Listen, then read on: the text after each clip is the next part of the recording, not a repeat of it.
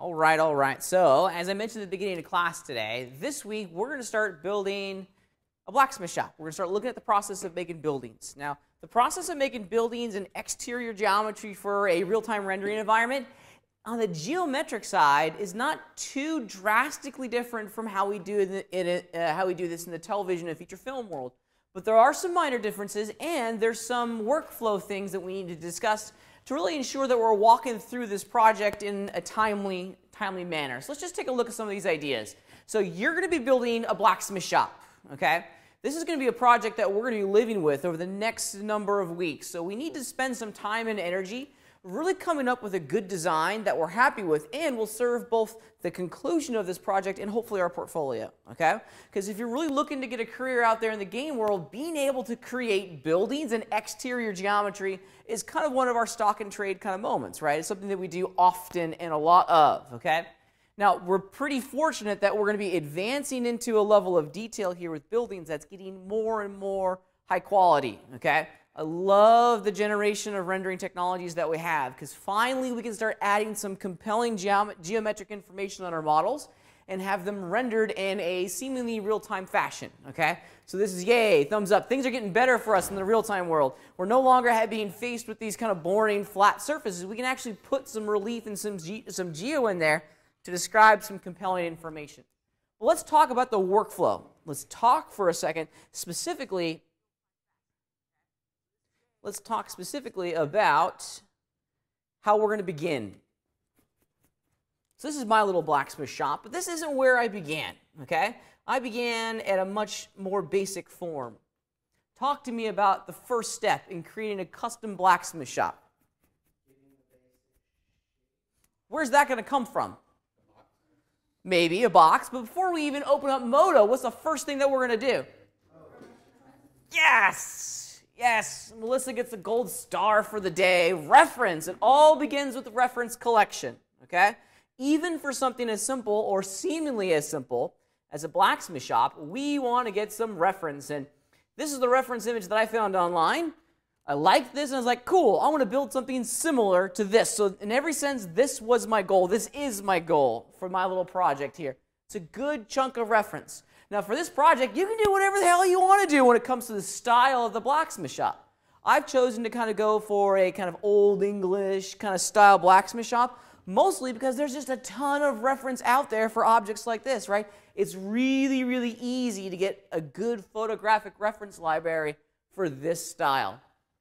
However, if this is not your thing, if this is not your style, and you want to do something totally different, I say go for it, man. I have no problem with that. Just be consistent and make sure that you're finding good reference images that are, that's going to support your decision-making process, okay? I had a student uh, a couple years ago now. He did a wonderful, and I mean wonderful, blacksmith shop that was like a, a Japanese architecture style. Just really top-notch. So pick a style that you're into. I, I, it doesn't really make a difference to me, and then just run with it, okay? Use reference. Open up the Googs, okay? Open up the Google. Just type in blacksmith shop. You're going to find 10,000 reference images quickly that will help support your decision making process. You don't start without reference, okay? Now, the reference in many cases is a good starting point, okay? But it's never a good ending point. So if you look carefully here at the blacksmith shop image that I found online, this is a good starting point for me, right? Now, is there much that I can use in here inside of Modo? Yeah, not really. No, why not, Sam? Yeah, they're all angled. Eat, these are pictures. These are pictures with perspective infused inside of them, right? Photographs are always going to be perspective images, right? And all the lines, all the vectors in that image are going to bend towards the vantage point in the scene. They're never going to be perfectly orthographic blueprints that we see in other areas, right? So this is a good start, okay? But they're, they're almost never going to produce backdrop items for us. Almost never, okay? Unless you're actually getting like, you know, construction schematics from, I don't know, you know, like a 1600 era blacksmith shop, and the chances of you finding construction schematics or something built in the Renaissance, yeah, probably zero. Unless it's been recreated recently, right? So this, these are good starting points. And now we're to have to start using the thing between our ears, right? Our brain to figure out the spatial relationships between all these different pieces. And herein kind of lies the challenge in this process, okay? is figuring out how all these things are going to work together. Let me show you a really great trick that I use when I'm, whenever I'm conceptualizing something in Modo or any 3D app for that matter. A lot of folks forget that you can do this. Let's check it out. It's really kind of neat. Uh, now, over in Modo, if you just check it out real fast, we have this Clips tab. On some of y'all's machines, it's going to say Images. It's the exact same thing, okay? If we open it up, this is where all of our uh, all of the images that we import into Modo are going to reside. Now, I've kind of chopped mine up in Photoshop here, just putting each one of those perspectives into its own image. Uh, and if you double click on them, and this is what I like, right? It brings it open, open into its own floating palette. And I'm going to keep this right on my screen as I'm modeling and beginning to flush all this stuff out. It's a great little trick. That way you don't have to shrink the Modo interface down. I see you guys doing this all the time, and I don't know how you guys do it. You guys have brains that are much more awesome than I do. Uh, and this is not a criticism, it's just something that I notice. You guys make the screen smaller, and then you'll put this like over here, or in a background image, or in a web browser image, uh, and then you're left with just this small window here to work with, and that's fine. It really is. But I'm all about making things as big as I possibly can make it. Maybe it's because my eyes are getting old. Okay, it makes it a little bit easier for me to model. Okay, so have this in here. Have a floating palette or keep the reference image in your scene at some point or at some place so that we can get through the initial stage of conceptualizing the total volume that this thing is going to dominate quickly. Okay? Because in the game world, time is money, and we have to go through the entire modeling phase of this as quickly as we can. You may only get a day to model a building. That's like 8 to 12 hours, depending on which studio you're working at. Think about it 8 to 12 hours to model the building in its entirety, high res rated rock and roll. That's not much time. You may only get half a day to do the UV maps and then another, another day just to do the textures, okay? Everything in a real time game engine has to be created by hand. There's no procedural generation of all of this stuff. Actually, I lied. There is procedural generation, uh, but it's this, that technology is super, super inaccessible, right? It's procedural generation is only really uh, available for like games like Grand Theft Auto 5, right? where, them, where they're modeling an entire region of Southern California. You know, th- there's a reason Grand Theft Auto 5 costs 286 million dollars, right? Because they use some big time toys to get those to get that, those images. Okay, let's talk a little bit about process. Whenever I'm working on a new design, the first thing that I do is I try to, as quickly as I can, and I really do mean as quickly as I can, define the shape what are all these planes going to look like, right? How are they going to intersect? What's the size of the building in relationship to other big details? So from here, I'm allowed and able to just kind of prototype and iterate as fast as I can to get a good sense of the spatial understandings of this entire building. Here's, I always call it my layout mesh. I practice what I preach. You know, I have a couple stages of modeling in this project file that kind of should help us, right? Uh, and I'm just this is not good geometry, right? This is not, in any sense, what's going to end up in the final uh, in the final game itself. It's just a thumbnail sketch in 3D. It's supposed to be raw. It's supposed to be pretty basic. Of course, there's going to be a lot of polygonal errors inside the mesh, but that's not the point. The point of this stage is just to kind of get through and understand how all these pieces are going to work together spatially. Because seeing it in a picture is one thing, but once we start throwing down geometry, it's going to change, right? Uh, you know, what is it? Uh, oh, I've forgotten his name. The, uh, the famous Chinese general Sun Tzu or Sun Tse. I can't remember his name off the top of my head, right? He's famous for saying that no, no battle plan survives contact with the enemy, right? This is the kind of same idea, right? The battle plan is a reference, and that's just going to kind of get shuffled out the door once we start actually building it, right? It's going to be our foundation, but things are going to change, and we want it to change.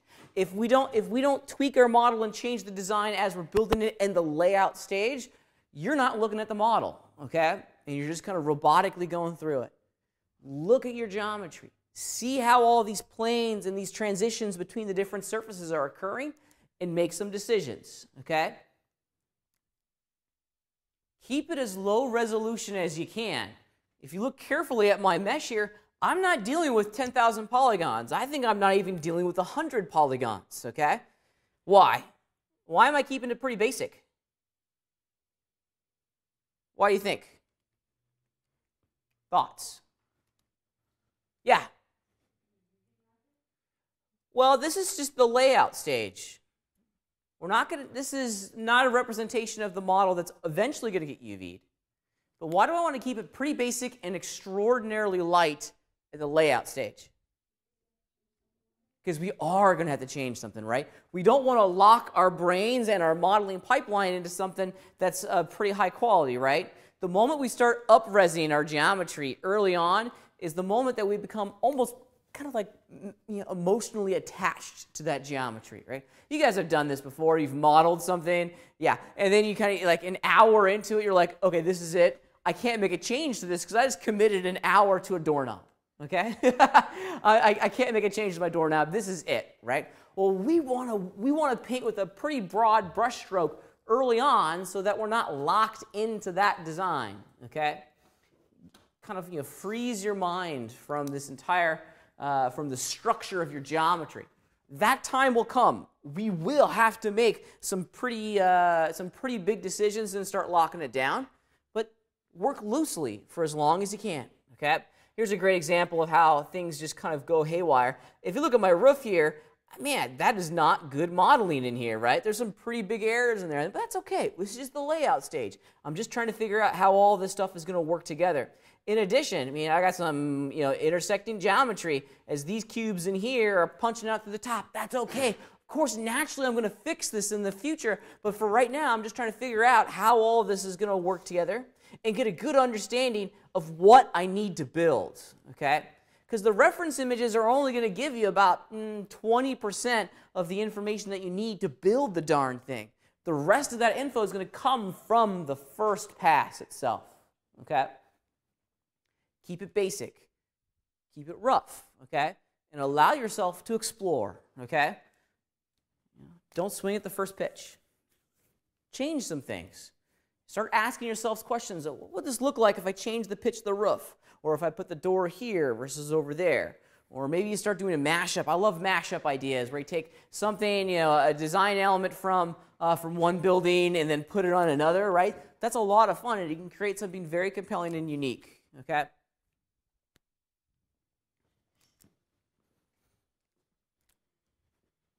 Okay, so where do we go from here, right? I spent some time flushing it out.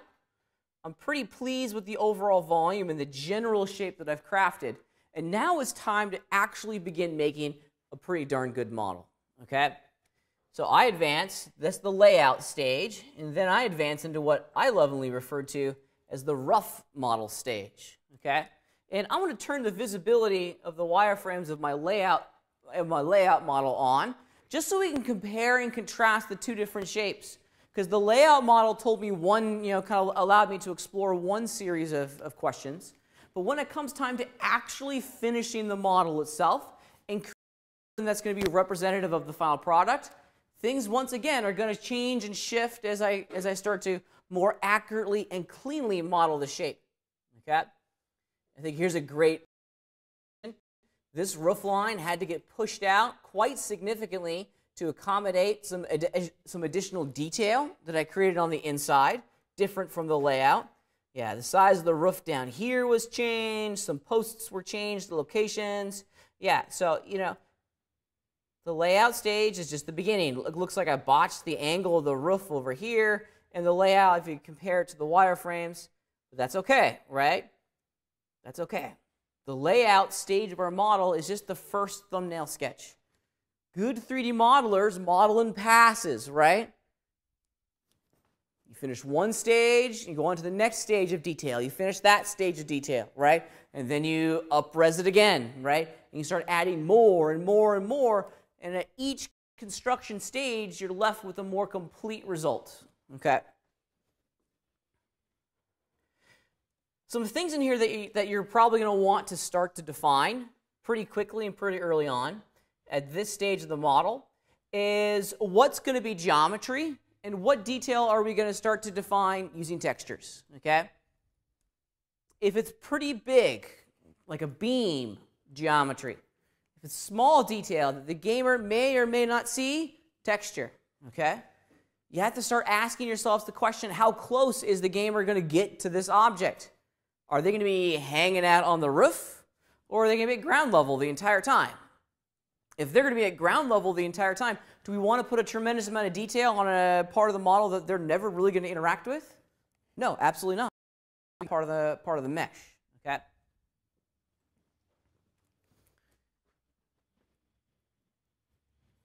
Another thing that you're going to start, you're going to want to start to establish as you go through this phase in the model is considering how the UV maps and how the textures are going to be applied into your scene itself. Okay, now we're going to talk about this area in a little bit more detail here in a minute. Okay, but these beams, these wooden beams here, notice how I've begun to model each one of these wooden beams. Okay, it's not all one piece.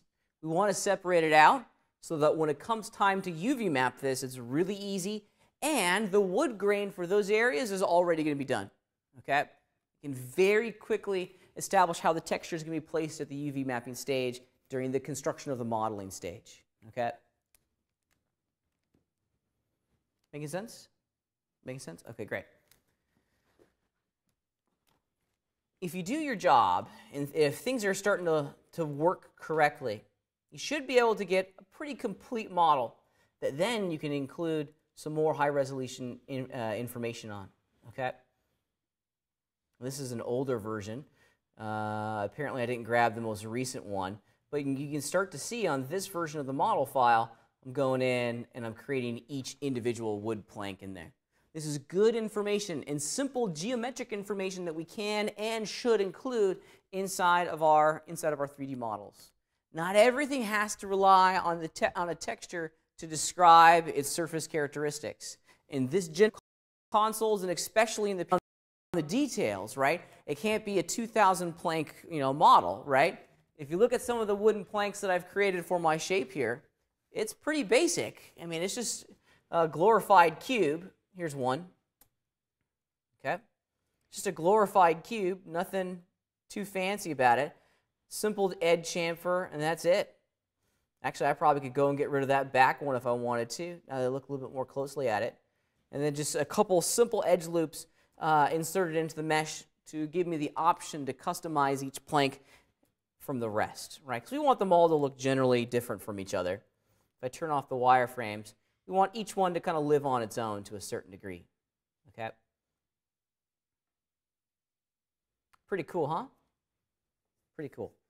All right. Let's talk about some modeling tricks and techniques that will help you construct some of these shapes quickly, right? Because this layout stage is supposed to be kind of really raw and very basic and, and extraordinarily simple. But how do we go from the layout stage into the rough stage? And how do we start creating a, a more complete shape? There we go. On the rough, that's representative of what the final product's going to be. Okay? Let's spend some time revisiting some important concepts, especially when it comes to the architectural world and how we create and define these buildings. Now, we have to be good practitioners here.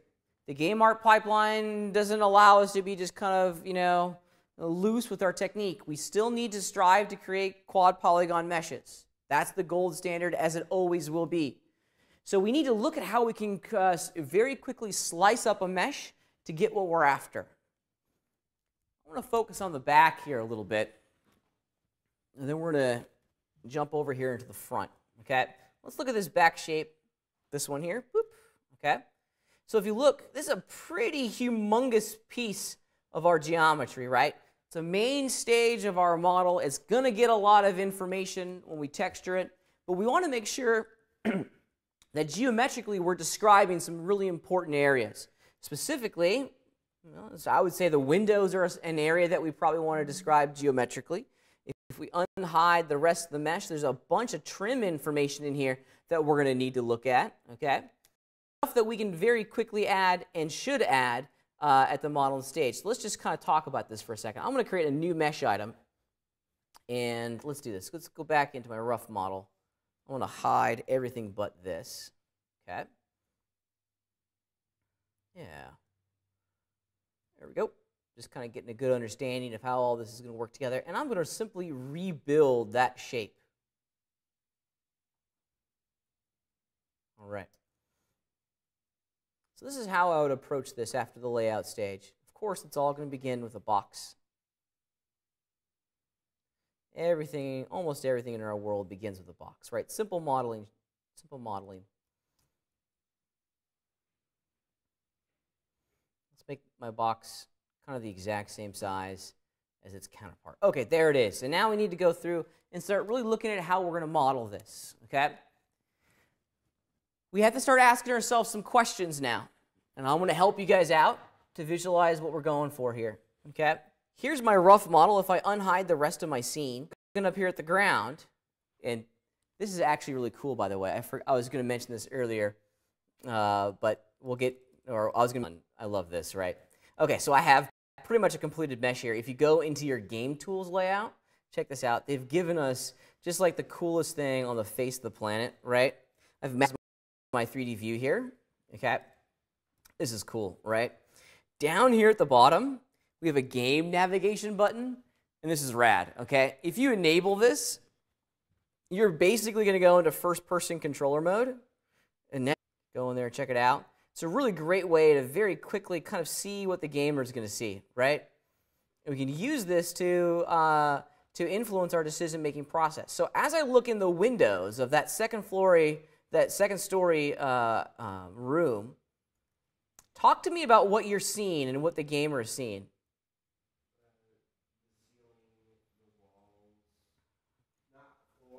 Not necessarily the floor, okay? but really we're seeing the inside of that, of that room, right? So it already tells us that we have to model the outside and the inside pretty quickly, okay? Now, the, the inside doesn't necessarily need to be extraordinarily detailed, but at the very least, we need to have some walls in there, right? The very least. Windows and walls. Okay, so that's the idea.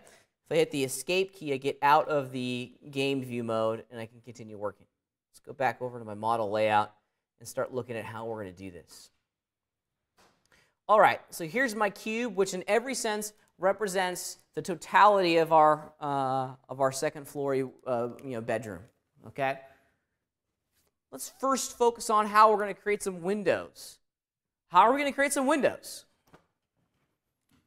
Let's also pretend that we want, let's see, one, we want four windows in here, and we want them to be all the exact same size as windows naturally are, right? Most windows on a building or a house are going to be basically the same, right?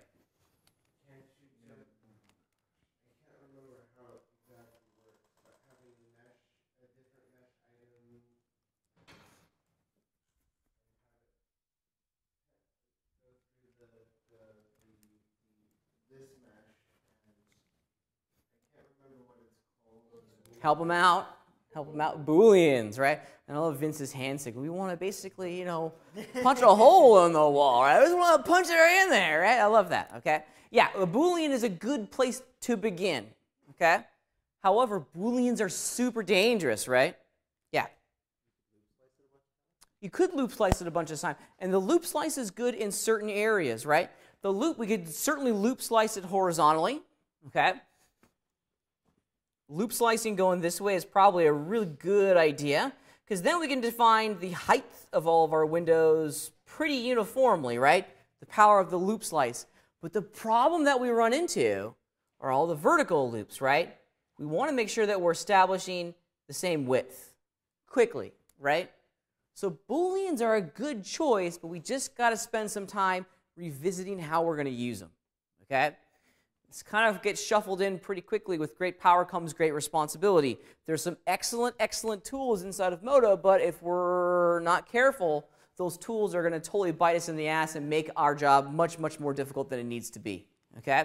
So let me show you some really great modifiers to the Boolean workflow that almost ensures that we're going to get super accurate geometry without too much huss and fuss. I like Booleans. They're a really cool thing. However, we need to just kind of take a look at it a little bit. Okay? All right. Let's be good stewards of our scene here real fast and rename some of this. So this is going to be my, let's just call it bedroom. Bedroom. And I'm going to create a new mesh item, and let's just call this windows. All right, we'll zoom out. Du, du, du, Oops. We go. All right, so now on my Windows mesh item, let's simply draw the shape of our window with, again, a cube. And here it is. This is the back of our house. Let's figure out how big do I want my windows? Something like this, maybe? That's a big window. Yeah, maybe something right around in there. Okay, me likey. Okay, now, so that's my window, and I like the size of it, but we need some accuracy in here, right? We need some big time accuracy in here. Let's pretend that my art director has come in and says, Pat, I like what you're doing here. Uh, here's the concept art, or here's what I want to see on the model itself, right? Because even in the 3D modeling industry, there's almost always, always, always going to be a supervisor even on the modeling side. There's almost always a modeling supervisor or a creative director that's going to be responsible for what you create, right? So maybe he, he, uh, this person, he or she comes in, they say, Pat, good job. I like your windows. Here's exactly what I need. I need to have a window over here, and I need to have, so let me, let me do that again. I need to have a window here, and I need to have a window here. But most importantly, they need to be uniformly distributed across this surface, right? So the distance between the outside edge there and there and there and there need to be the same. So I go, yes, sir, or ma'am. I got it. I understand exactly what you want. Now it's my job to figure out how to make that. Okay? So we just can't place them wherever we want. They need to be uniformly distributed. How are we going to do that? On what?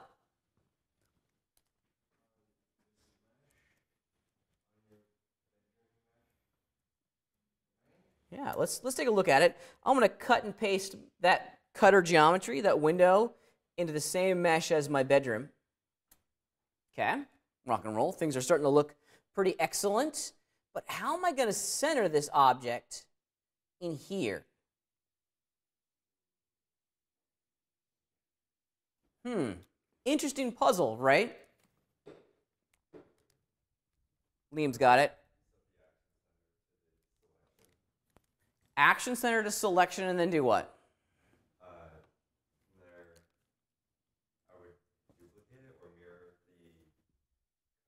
I like where you're going with that mirror operation. That's a good idea. But we still need to find an important feature, important, an important uh, area in this mesh. Let's figure out some midpoints, okay? Let's start, to, uh, start establishing the middle of the selected cube, both horizontally and vertically. That may help, okay?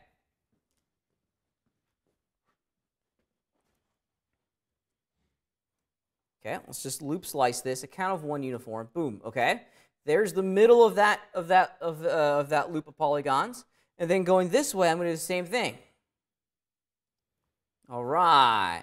And this second one is very interesting to me. I get a tremendous amount of info from that second loop, okay? Because now basically what I've done is I've basically gone in and defined a quadrant over here and then a second quadrant over here that are identical in width and in height, okay?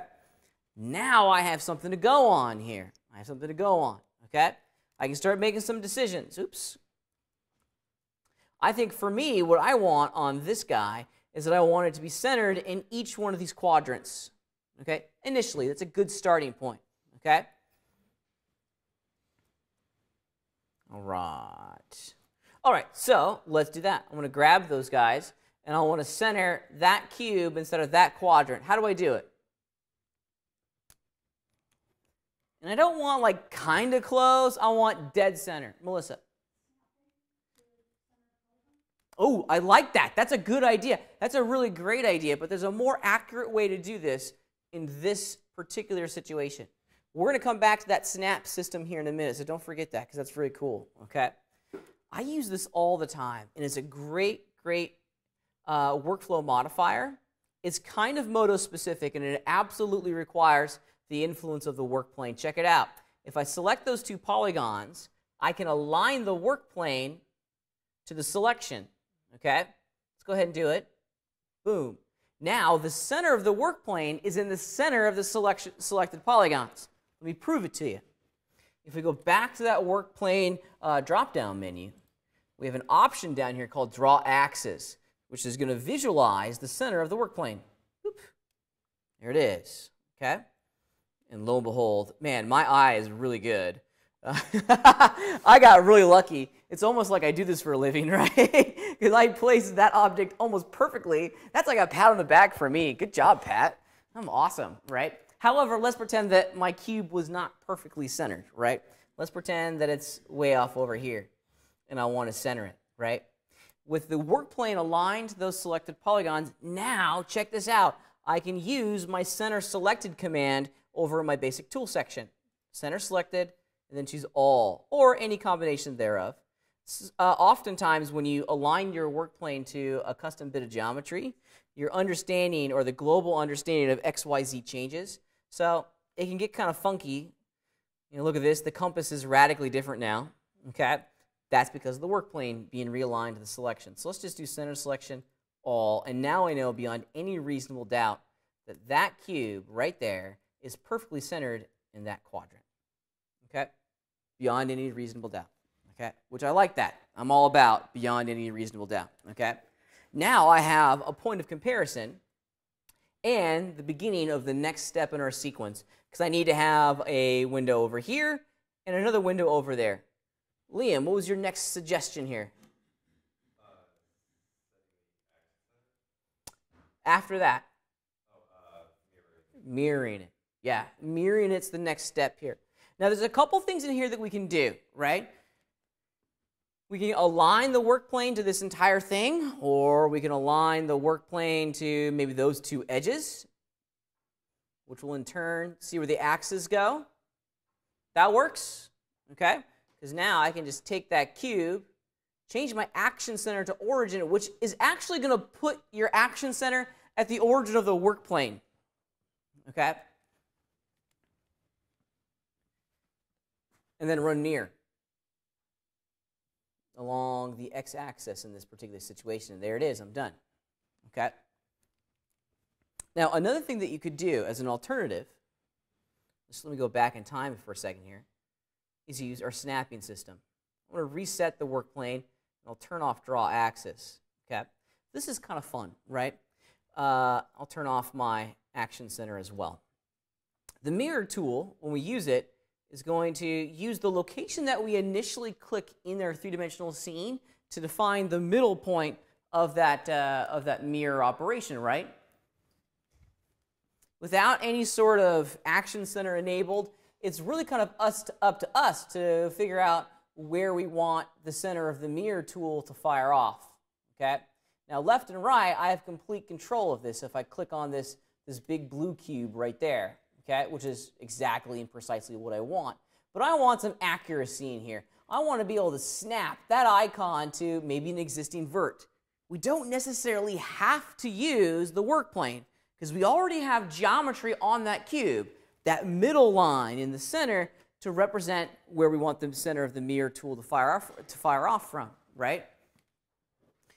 Now, to get this started, I'm just going to go back in time a couple steps. There we go and I want to enable our snapping engine. The Modo snapping engine is pretty amazing. It allows us to work quickly and it stops us from having to use the work plane for every single stage. It yields us a tremendous, and I mean a tremendous amount of accuracy quickly. Okay? The snapping tools in Modo are so good, it's probably one of the best reasons to jump into Modo, believe it or not. Not all the applications that are in our 3D, 3D universe have, has a snapping engine like this. Let's check out how it works. We have a global snap toggle, right? That's what this is. We can either hit the button here or we hit the X key on our keyboard, which is going to enable and disable our snapping engine. Now, this is just a snap engine. It doesn't allow us to uh, set up all the snap properties. That comes right here. Hitting the F11 key or that button will pop open this thing and it will now be able to control exactly what we're snapping to. And there's a lot of different options in here. Okay, some, some important ones for us. Of course, grid. I do a tremendous amount of vertex snapping. And Melissa was uh, uh, highlighting earlier, center of polygon, center of edge. These are awesome things for us to use, okay? They're really quite good. I think for, for this step, I want to turn off the grid snap and turn on vertex snapping and click off of the form to dismiss it. Let me zoom out ever so slightly. Now, when I fire off my mirror tool, check it out. See how the cursor, it, the moment it goes over, the, gets kind of close to that vert, okay, because I'm doing vertex snapping right here, I get a rollover highlight telling me that, hey, this is the location inside of our three-dimensional scene that the mirror tool is going to snap to. And it sure does, okay? So our snap engine in this particular situation gives us a tremendous amount of info to get everything where we need it to be, okay? I like that. Drop the tool and I'm on my way. And now I have those two windows exactly where I need them to be. All right, so those two, believe it or not, were the easy ones. Let's do these over here. Now, with some of these snap options enabled, we don't necessarily have to go in and start subdividing our mesh a little bit to infuse a physical center line. At times, adding geometry can be a real detriment to our modeling process. Really, what we need to define and zero in on pretty quickly here is the center of some edges, right? The center of that edge and that edge, or just the center of that polygon, right? Let's check this out. I want to make some copies of, of my geometry here. I don't want to draw a new window. I want to copy this window so all of my windows look identical to each other. All right, so I want to copy it, edit, copy, edit, paste, and I want to fire off the rotation tool just immediately and rotate it 90 degrees. Now, without the, the, uh, uh, our snapping options on, it's up to me to figure out where all this is going to go. Okay? However, let's get a little bit more specific. Let's see if we can place this cube in the center of these poly, oops, the center of these polygons without using the center selected command or changing our work plane. Okay? Let's do it. Let's jump in. This could be a fun little challenge. I'm going to start with the selection of this cube, and let's turn, our, turn on our snapping engine, and let's look at what happens when we do, uh, let's do edge center. So you can have more than one snap, snap feature on at a time, okay? You can snap to everything or just one thing. It's up to you to figure out what that is, right? I'm going to choose to do a little vertex snapping, and I also want to snap to edge centers. I like that, okay? Let's get rid of this form and start placing our tool handles. Check it out. I'm working, uh, I don't have an action center enabled right now. And so I, can, I get to place my tool handles wherever I want inside of our scene.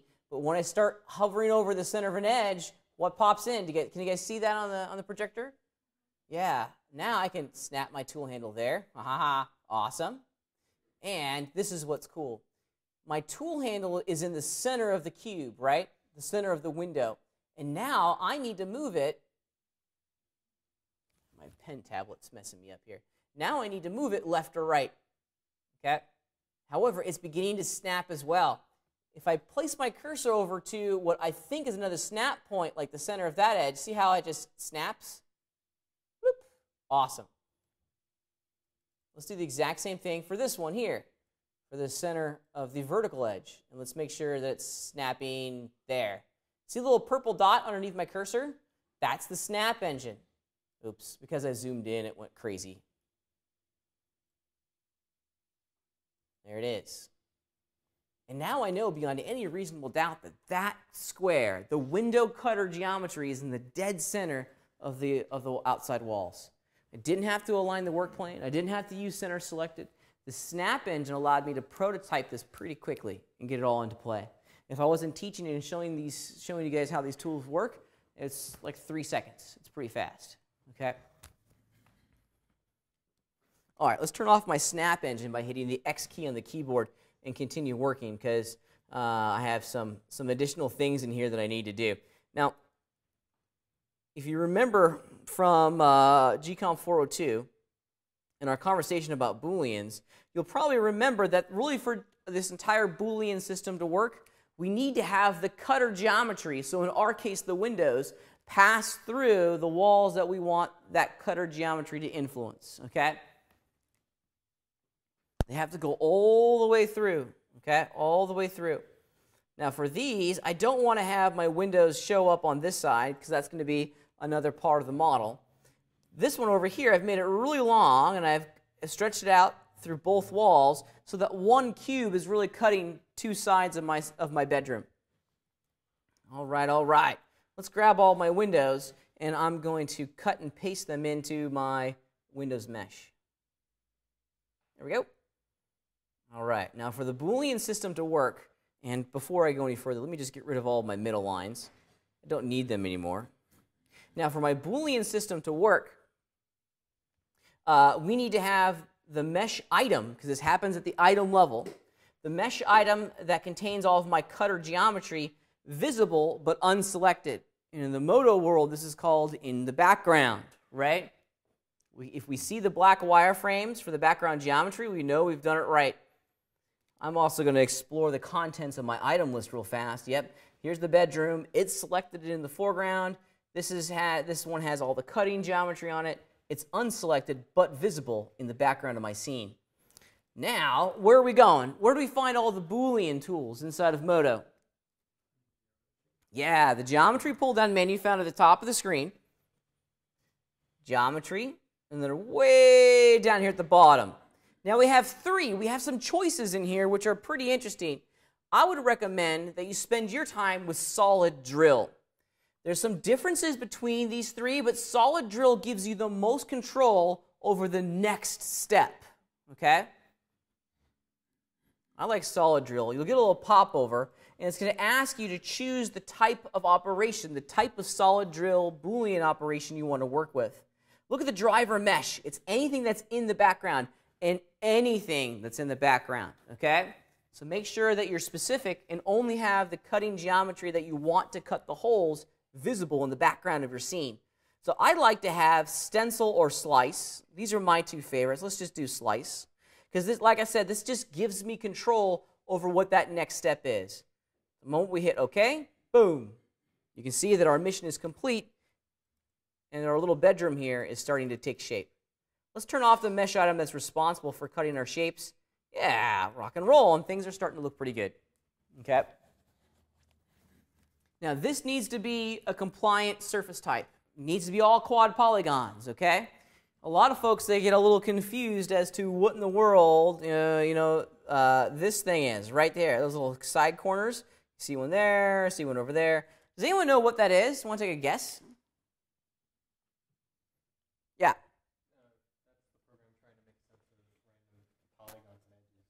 You got it.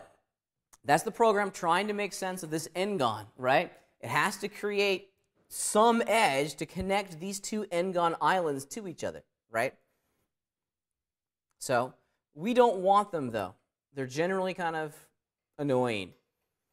And we don't want our geometry flowing into the corners like that. I need to start slicing this mesh to get it into a compliant, uh, into a compliant surface type. Quad polygons, right? How are we going to do this? What should the result look like? Sometimes if you start to uh, you know, envision the goal, the solution and which tools to use kind of pops, pops in. Ideas, Mike? Yeah, it should look as if we loop sliced it, right? So we should probably start to see some lines go like right to here, right? And I want to botch this a little bit, but I think you'll probably get the idea, right? So we should, probably should connect all these surfaces like that. Then same going vertically. Okay. In here so on and so forth, going all the way around the mesh. Okay? Yeah, that's the result. That's kind of the target here for what we're trying to capture. How can we do this quickly? I really can't use loop slice because we don't have any loops to slice, right? Edge slice, not going to work too well, especially going around the corners of our mesh. So what does that leave us with? Good old slice. I love slice.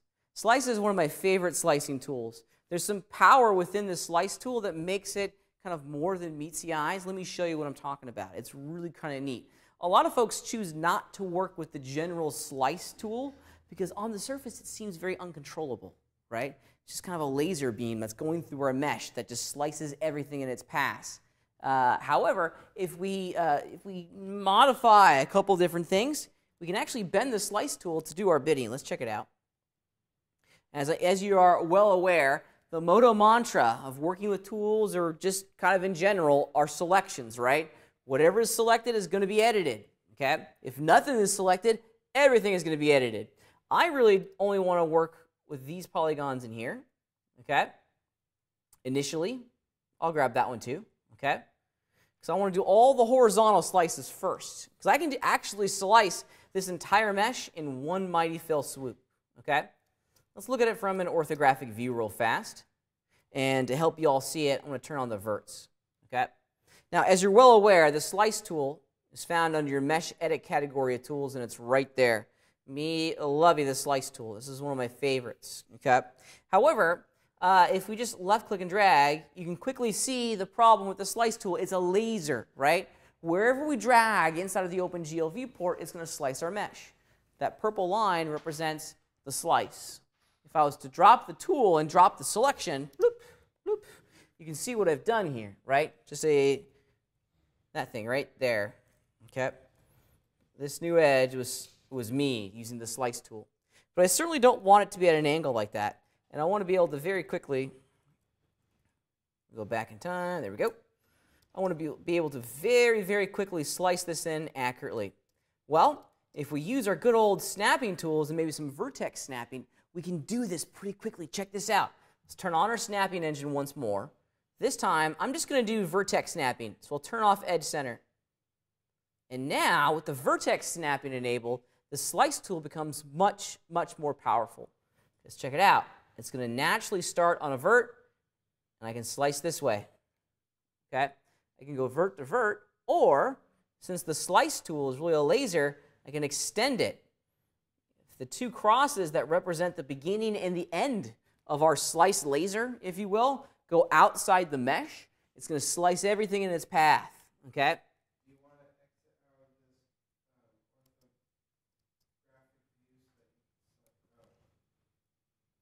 I like working with the slice tool in those orthographic views of our 3D scene. Because in a perspective view, it kind of, the slice tool gets conceptual pretty quickly. Most, you know, most people have a hard time kind of figuring out you know, the angle of that plane. Some people don't have a hard time with it. I find it really frustrating myself. So I like working with the slice tool in the orthographic views. But use, use the slice tool however it makes the most sense to you. Okay?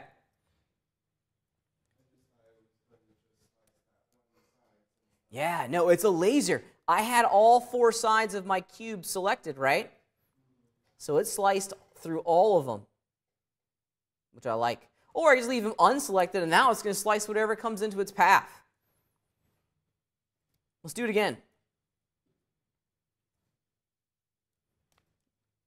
All right, let's do it again. Let's run the slice. I got my vertex snapping going. Just slice this way. Boop. Okay, which is pretty great. If I extend my purple line outside my mesh, now I've just sliced the entire thing. That's pretty neat. Makes this whole process go a whole lot faster. I want to hit the undo key real fast because I want to show you something that I think is really neat. This is an, an, an enhancement to the slice tool. Okay? I'm to run the slice tool. I'm still to use my vertex snapping that I did, that I did last time, but there's a new one down here, and this is relatively new. I think this popped in in version 9. We're in version 10 at the moment, and it's called Infinite. Infinite's pretty neat.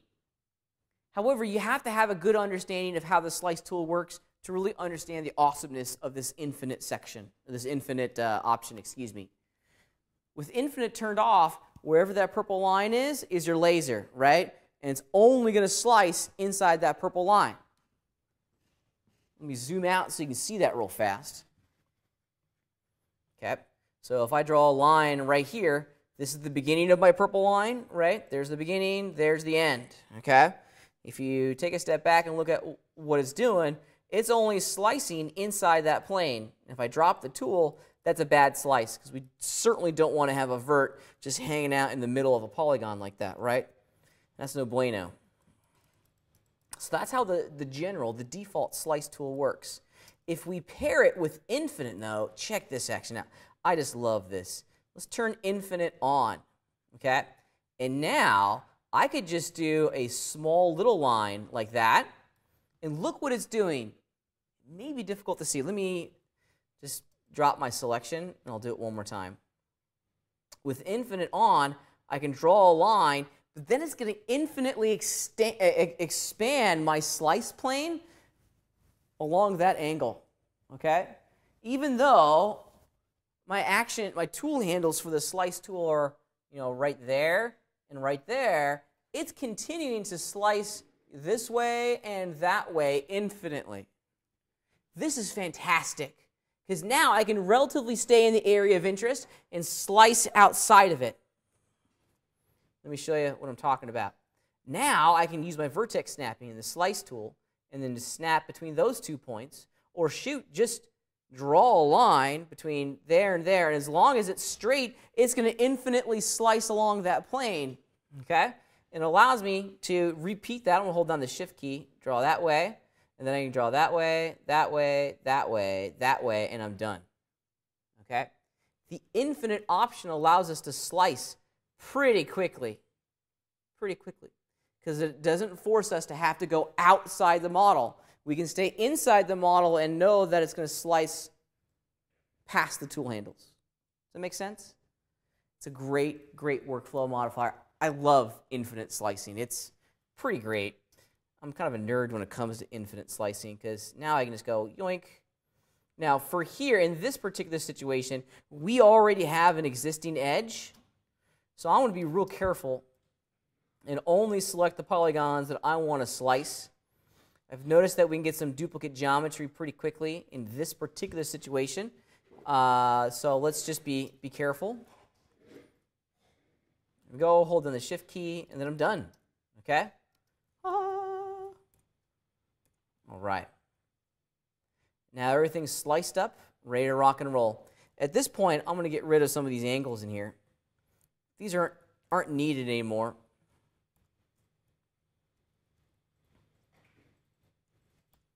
Like that. Awesome sauce. I love it. That's good stuff. That's really good stuff because I was able to, to flush this out pretty quickly. So get that one in there. These are all my windows. Okay? I'm ready to rock and roll. So what's next for creating these windows, you think? Probably should delete them because we want some openings, right? That makes sense. Let's delete them for a second. How are we going to create the inside of our building quickly? You could bevel the ceiling down. I like that, right? That's a good option. What are some other options in here? Other options. Now, how are we going to create the thickness of the windows on the inside?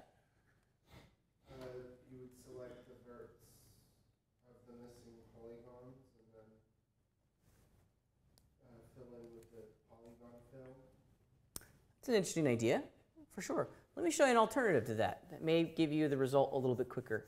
Okay? I'm actually going to delete the tops and the bottom. So what would be the roof and the floor. Okay? Don't worry. They're not going to be gone for very long. Delete. And I'm left with what ultimately is like a 2D shell, if you will, of our, of our object. Okay? 2D shell. Check this out. I'm going to create the walls of my room using the thicken tool. Okay? The thicken tool is really a mashup of a couple different tools and some operations that we've been doing for a long, long time. Okay? Check it out. I'm going to grab my mesh, and you can find thicken in a couple different places, but it's an all-star. Uh, so they've placed it inside of the, uh, the basic tool collection of tools. And, uh, oops, my interface is cutting it off. There it is, thicken, right there. So let's turn it on and we'll just left click in the viewport. You'll get some tool handles. Don't mess with the red one. Mess with the blue one. I want to go this way. And there it is. Aha, awesome. And I've created the thickness of my walls pretty quickly. Now, at times, if you look very carefully at this, let's look at my mesh from the top. Yeah, that's not so hot, right? because we got a great straight line, then it goes at an angle. We don't want it to be at an angle. We want it to be kind of straight like that. That's a product of the thicken operation, but don't worry, we can fix it. There's a great option for us in thicken, excuse me, that will fix some of these options, and it's right here. It's called sharp. And that does a really great job of making sure that the walls are all the same, the same thickness. And there's no longer that kind of scooping that we see going into the corners. No, ha ha! Rock and roll. Awesome. Because now we've done a simple slice for all of our windows. The thicken tool has allowed us to kind of grow our walls inward, and it's done a tremendous amount of the work for us automatically. Okay? Now we still have a couple things in here that we need to get to very quickly, right? We still need to put a roof, a ceiling, and a floor on the interior of the wall, right? Ceiling and floor on the interior. Let's do that real quick. It's not as hard as one might think. How would you do it? Let's, let's work on the floor. How are we going to get a floor? Because we have to have some geometry down there. How are you going to do it? Yeah. So select all the edges, hit the P key, which is going to fill that with a polygon. Yeah, that's one way of doing it, for sure. For sure, that's not a bad way. Absolutely. That, gets, that gives us pretty quickly the result that we're after. In the game art pipeline, that's not a bad thing, okay? because it just creates one polygon. Hit the P key. Oop. It actually did it, but it's flipped the wrong way. So here's what I'm going to do. I'm just going to flip it with the F key. Okay? Single polygon down there. Yeah, that works. It's a great way of working. Okay? If you're old school like I am and you believe in compliant meshes, uh, I really, really want, this is my OCD 3D modeling brain kind of going out of control right now, okay? I really, really, really want to have edges going this way. I want to connect the dots. I want to preserve all of my loops, okay? These loops are important for me because I know from my experience that I'm going to get I'm going to get a tremendous amount of edit flexibility in the future if I have all of those there. So ideally, I would love to fill that area but get all my loops too. Okay?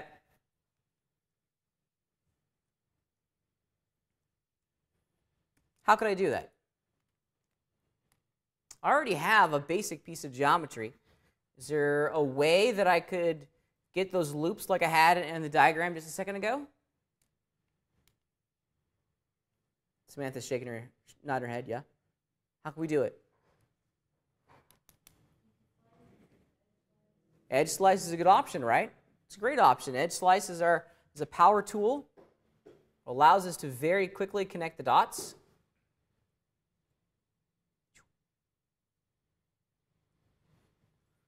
Just get it in there really fast. This works pretty well. If you have multi-slice turned on, multi-slice, if this is turned on, watch what happens when I go the other direction. Hold down the shift key, and now it'll slice through all of them at the same time, which is kind of nice. Hold down shift, do it again. Okay, me like you. That's a good way of doing it, right? Rock and roll. I love it. Okay, that works. That's fine. It really is. That's a fine way of doing it. Let me show you another alternative because there's a bazillion different ways to skin this cat. I'm going to go back a couple steps here to the stage where I had the opening of my mesh selected. What's another way that we could do this? It's going to kind of fill in this entire grid for us auto-magically. What tool, yeah, Melissa. And bridge, the bridge tool. Yeah, the bridge tool is a pretty neat tool, right? This is what Melissa was talking about. You can grab edges that are across from each other like this, okay? And then run the bridge tool, which is found in a couple different places. But since it's so great, it's found right there inside of our interface, okay? In the basic tool area. Let's run bridge. Bloop. Now they're flipped, but that's okay. They're right down there. That works. Bridging is just fine. It really is. But check this out. This is actually kind of cool. There's, an, there's a power feature in Bridge that everyone should be aware of. I want to bridge. I want to basically do this entire step in one click. Okay? I want to run Bridge. Okay? But I want to make sure some properties are enabled here. And specifically, auto connection and continuous bridges. Okay, check this out. This is neat. With it off, this is what's going to happen. Not a darn thing, right? With it on, and then we click, well, I might have to go back. I clicked once already. Let's try it again. Bridge. Boop. Come on. Ugh. I got to deselect these. I always forget that. Here we go. Now when I run bridge, it's not grabbing the other ones. I wonder if it's because of these bottom polygons down here. Yeah. So we're close. We're close. It should have sliced it that way for me. And it may be getting messed up here because all of these guys here at the bottom. Let's just delete them and see what it does. Actually, I think you, you should have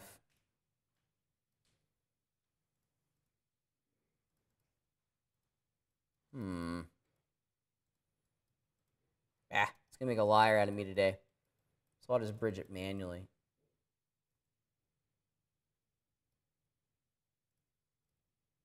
There it goes. Now it worked. There it is. Okay? So auto connection is going to do that way, and then continuous bridge is needed for the auto connection to work. Okay? Actually, it works in this particular situation, it works with it off. It's a great way of filling in the, in, in the grid. Okay, we don't have to go back and slice them. Really handy in some extreme situations when there's a lot of a lot of edge loops running perpendicular to the flow of the polygons. Pretty neat, huh? Some, some modifiers to our modeling workflow that allows us to get to the end result pretty quickly. Okay, and there it is. There's my mesh. I'm a happy camper. I do the exact same thing for the top, by the way. I delete that loop of polygons at, the top, select the edges, run bridge, loop. What's my snapping engine that's, come on now. Bridge, yoink, there it is. And I'm on my way. Done. In a couple seconds, things are, things are exactly the way they want to be. Now the detail in here is pretty interesting as well. And let me show you some of the power of, uh, of, of, of the snapping engine when, when fusing detail into these areas, okay? Because we can work quickly. It's not about working hard, it's about working smart, right? Let me show you some ideas here. I'm going to go into my, my rough model because I have some problems on my rough one here that I need to kind of resolve pretty quickly, okay? I got some issues in here that I need to just kind of... Mm, it's driving me crazy. It's driving me absolutely batty, okay? And let's initially begin with, uh, how are we going to do this? Let's do, let's do this, these two in here. Hide everything else, and let's look at what I have. Now, when I was prototyping this earlier, when I did my rough model, man, I just didn't do a very good job here. I did kind of a horrible job, and if you look at this from the front, there's a gigantic gap in there. We don't play that, right? We don't do gaps. We don't want gaps. That's a bad, bad, bad place to begin, right? I want them to be perfectly right on top of each other, which allows me to get to the next stage, which you'll see here in a minute, okay? Is there a way I can get the top of the vertical, the top of the vertical, uh, or excuse me, the bottom, the bottom polygon of our vertical post in the exact same location of the top of our horizontal post? How am I going to do that? Snap it. Absolutely. Our snap engine is going to come in here, okay? Let me just grab that bottom polygon, look at my object from the front. I'll turn on my snapping engine and explore its options. So right now I'm doing some vertex snapping, which is exactly what I want.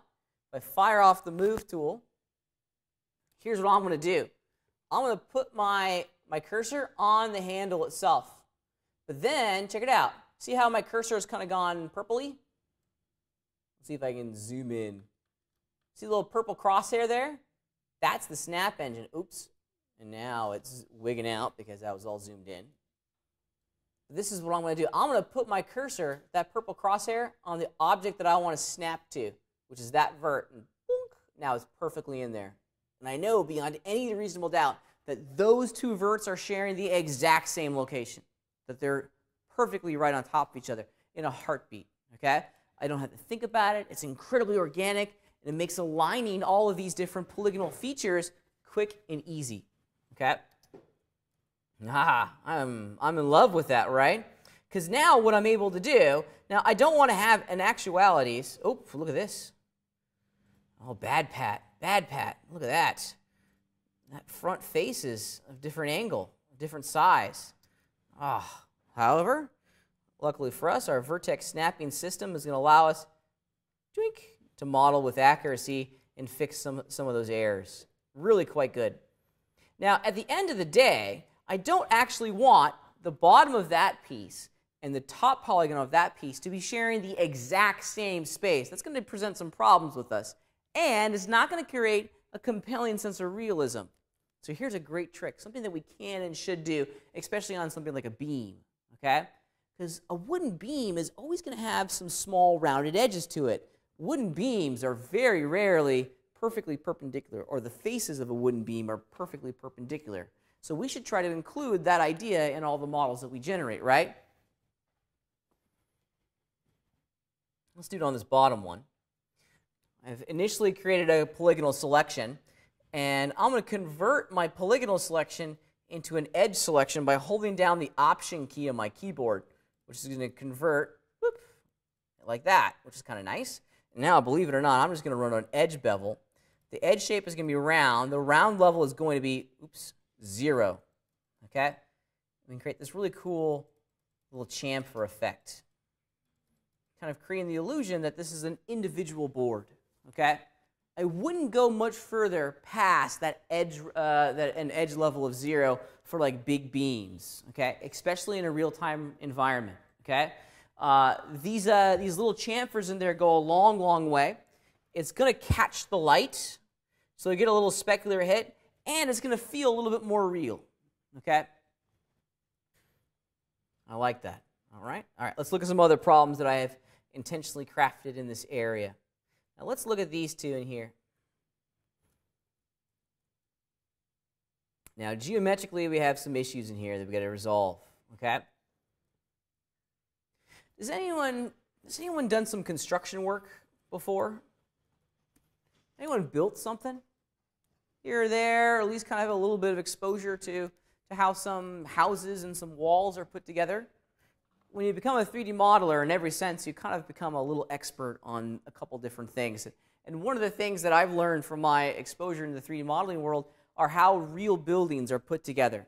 Now, I'm not a carpenter, I'm not a construction worker, I couldn't actually build a building, although I think I'd probably do an okay job, right? But what I do understand is the kind of the role of gravity in all this. Okay? Imagine that these are actual beams, okay? What would at the moment, at the moment, what would be holding up these beams? Oops. Look at my model for a second. How is that beam connected to that post? In your imagination, how is it connected? Yeah, so you'd probably have to have some sort of L bracket down here, right, to support the weight. Or you'd have to have, you know, some screws in here somehow connecting, you know, this beam to, to this post, okay? There's going to be some sort of fastener, I guess you could say. Is that good construction? No, absolutely not, because you put all of the weight of the entire building or the entire structure on a screw or a bolt or something, which you don't want to do, right? What would probably be the best way to do this?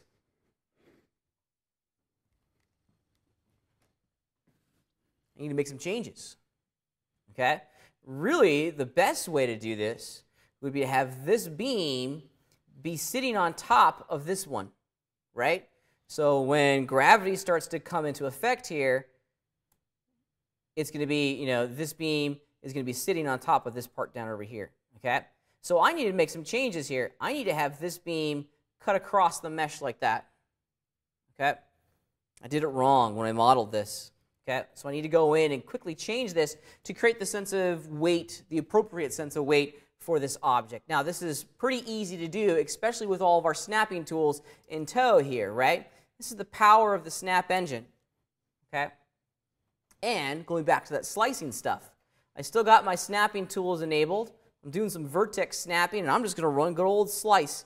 And since I'm using infinite slice here, I just have to do a little bit, and I've sliced that beam in a heartbeat, right? Okay, awesome.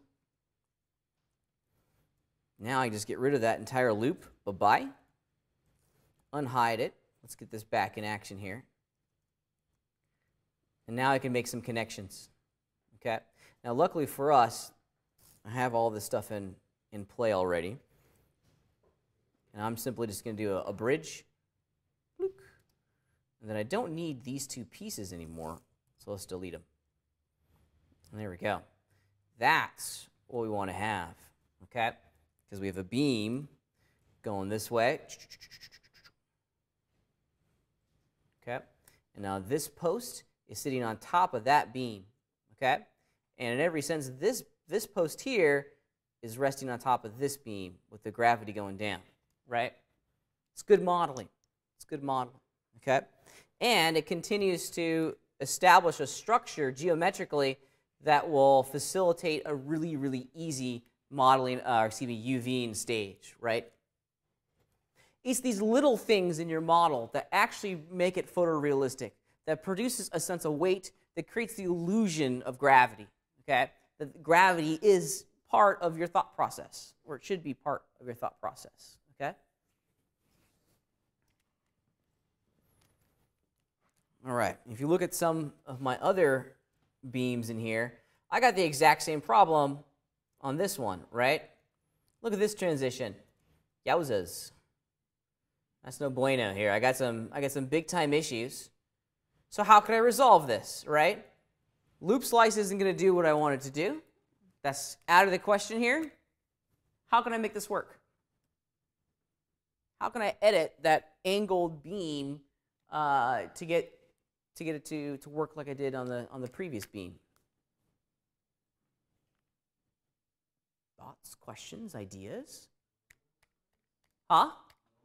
Yeah, the slice tool, paired with some vertex snapping and some simple selections, can get us what we want pretty quickly, right?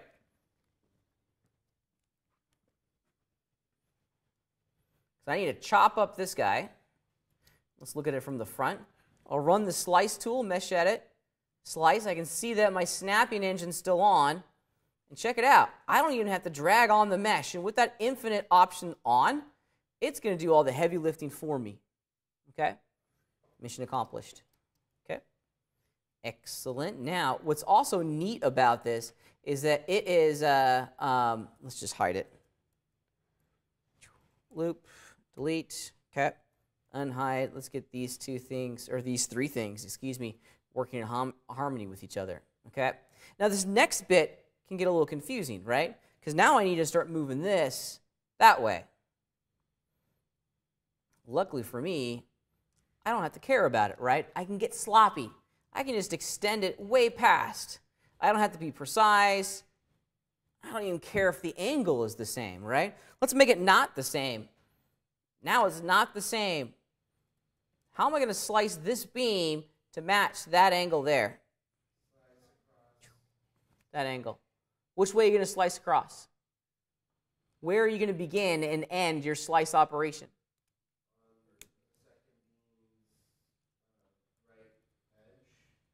So, right here? Yes, absolutely. Because these two verts, in every sense, create the angle for us, right? These are our two slice indicators our slice markers, if you will. Okay? So once again, my snapping engine's on. I'll run slice. This time, yeah, infinite slice is going to do the job. There it is right there. Perfect. Oops, I didn't. I'm a dork. Let's grab the entire mesh pat. Boink. Hold down the shift key. Boink, and I'm done. Okay? Now, all of this in here is slop. We don't need that. Bye-bye. And I'm on my way. Looks like, however, oh, I didn't, uh, yeah, looks like just triple checking, make sure we don't have any hidden polygons in there. Oops. Okay. Now, is this in here needed? Actually, I didn't need to slice it. That was just habit. Not needed, right? Doesn't change the shape, it's not needed. Okay, looking pretty good, huh? Pretty neat, and I need to do the same thing over there as well. Let's uh, let's convert over to edges. We'll do a very simple edge bevel. Yeah, there we go.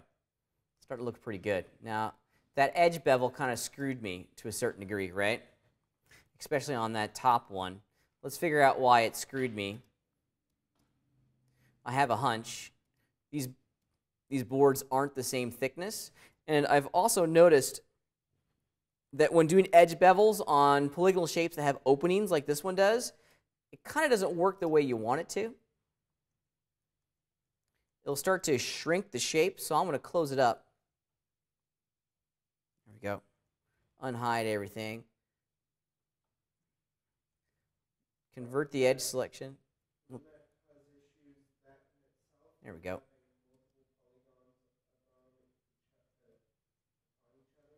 Well, yes, it would. It absolutely would. And, and I still have some work in here that I need to do. The, the width of some of these boards were inaccurate, which has given us some problems, okay? However, you know, we can certainly go in. We're not ever really going to see that one down there, that polygon. So you can delete it, right? All I really care about is the chamfered edge in here. Yeah, rock and roll. And without those, without those, uh, um, yeah, that's looking pretty good. Much better, right? See how the light's just catching that edge right there? It makes it feel like a wooden beam as opposed to just a rectangle, okay? Really, really simple, easy, easy peasy little modeling enhancements that you can do to make your mesh just really sing and to make it really quite cool, okay? Very easy. Use the slicing tools. Use the snapping engine, right? It's amazing how fast you can edit your mesh when you start pairing the awesomeness of Slice and the snapping engine into your workflow, okay? I can't model anymore without the snapping engine in Modo. I can't model anymore without the slice tools. They're just that good.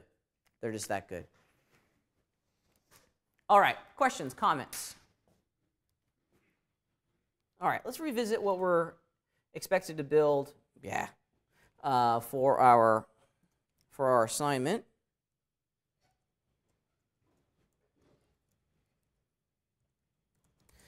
logged me out. All right. So this week we are building a blacksmith shop. Okay. As I mentioned at the beginning of class today, you can do whatever type of blacksmith shop that you'd like. Okay. Pick a style and then commit to it and run with it. We're going to be living with this project for the next three weeks. We, you know, part one is the model. Part two, UVs and textures. And our process of creating UVs and textures, well, yeah, just the process of creating UV and textures is going to shift next week. Okay? It's going to change in a big way because how we model a prop, like a crate or a wine barrel or a sword, is wholesale different than how we do the textures for our building. Okay? And we'll look at those differences in detail next week. Next week is definitely not a day you're going to want to miss. Okay? Uh, there's going to be a lot of new stuff thrown at you next week. I'll be live streaming again because it is pretty intense. Okay? Intense is the wrong word. It's just new. We're going to be looking at things new, uh, looking at things differently with a new with a new pipeline. Um, also, start throwing in some details like this, right? It's things like like anvils and hammers and saws, or a little a little stack of you know wooden logs, or a shield lean, uh, you know leaning up against the wall that really starts to make this blacksmith shop feel human, right?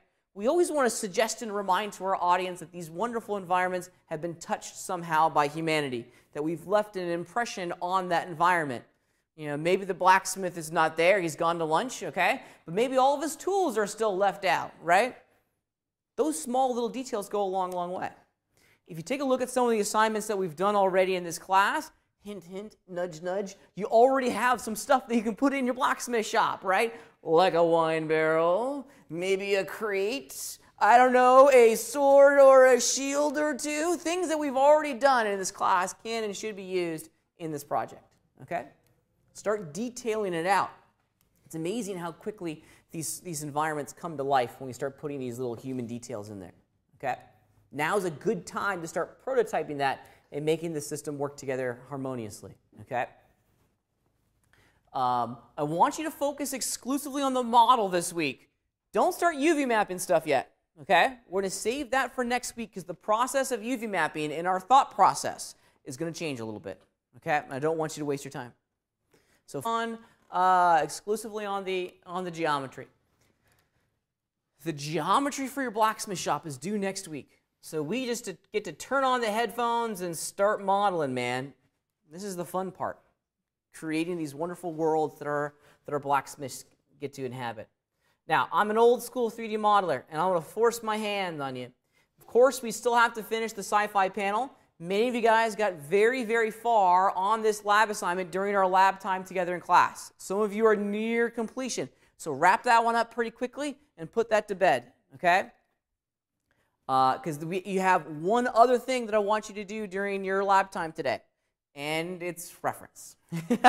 is to do a little research, okay? Is to gather some images that you found online that act as a starting point, a moment of inspiration for your blacksmith shop project. Okay? So I'm going to force my hand on it. This is a gradebook item. You have to do it. If you click on the Dropbox, you get some simple little instructions. And here it is 10 reference images. I'm sorry, I'm logged in as me. Uh, 10 reference images, okay? Yeah, 10. You're probably going to want to get more than this, just to give you ideas and to start kind of understanding what this thing looks like. Now, there's not an expectation by me that you build the objects that you create or that you collect in your reference, okay? It's just a starting point. I hope that you make changes. I hope that you add stuff on, mash things together, and make it unique and make it your own, okay? So it's a starting point, but everyone has to define their starting point, okay?